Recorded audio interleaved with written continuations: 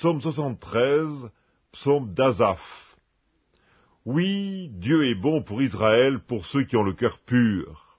Toutefois, mon pied allait fléchir, mais pas été sur le point de glisser, car je portais envie aux insensés en voyant le bonheur des méchants.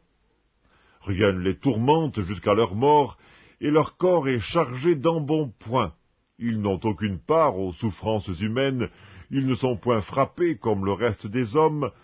Aussi l'orgueil leur sert de collier, la violence est le vêtement qui les enveloppe. L'iniquité sort de leurs entrailles, les pensées de leur cœur se font jour, ils raillent et parlent méchamment d'opprimés, ils profèrent des discours hautains, ils élèvent leur bouche jusqu'aux cieux, et leur langue se promène sur la terre. Voilà pourquoi son peuple se tourne de leur côté, il avale l'eau abondamment, et il dit Comment Dieu saurait-il? Comment le Très-Haut connaîtrait-il? Ainsi sont les méchants, toujours heureux, ils accroissent leur richesse. C'est donc en vain que j'ai purifié mon cœur et que j'ai lavé mes mains dans l'innocence. Chaque jour je suis frappé, tous les matins mon châtiment est là. Si je disais je veux parler comme eux, voici je trahirais la race de tes enfants. Quand j'ai réfléchi là-dessus pour m'éclairer, la difficulté fut grande à mes yeux, jusqu'à ce que j'eusse pénétré dans les sanctuaires de Dieu et que j'eusse pris garde au sort final des méchants. Oui, tu les places sur des voies glissantes, tu les fais tomber et les mets en ruine.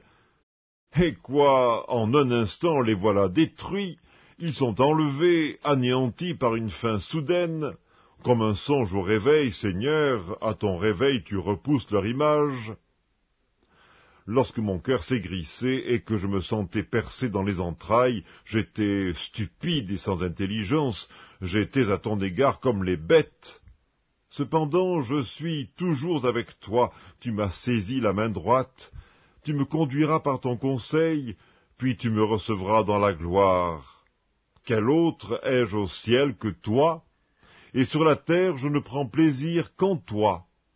Ma chair et mon cœur peuvent se consumer, Dieu sera toujours le rocher de mon cœur et mon partage.